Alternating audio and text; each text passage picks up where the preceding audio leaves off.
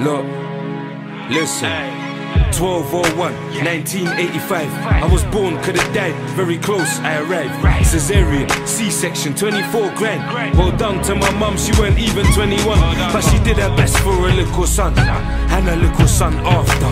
But we looked the same, just had a different father. Couldn't care where I sleep. I swear, this is where this shit it got deep. My stepfather family beat me out of my head. I was nine and my mums took his side instead. And the days got shorter,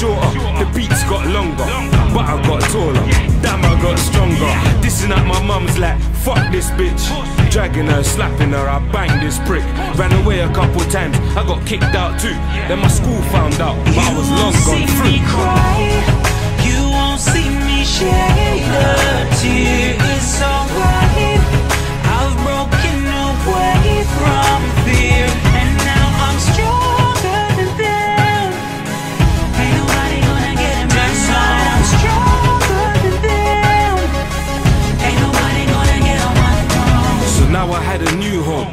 Took me in. I saw him most Saturdays but didn't know him. And my aunt, she'd adopt me, but he did the right thing. And my nan was there. She looked after me. And my nan, that's my heart, that's the heart for me. Every morning, wake me up with my cup of tea. And when she got home, she got a cup of tea. And we talk about everything true love for me. And knew I was a wrong un, but damn, she never cared. Cause she had a son and a grandson right there.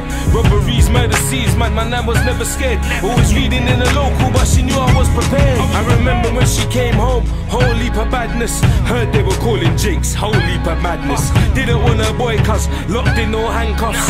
She was angry, but she said, son, get it out. So I jumped out the window and got it out. Cause I was early the streets, fam, I've been about.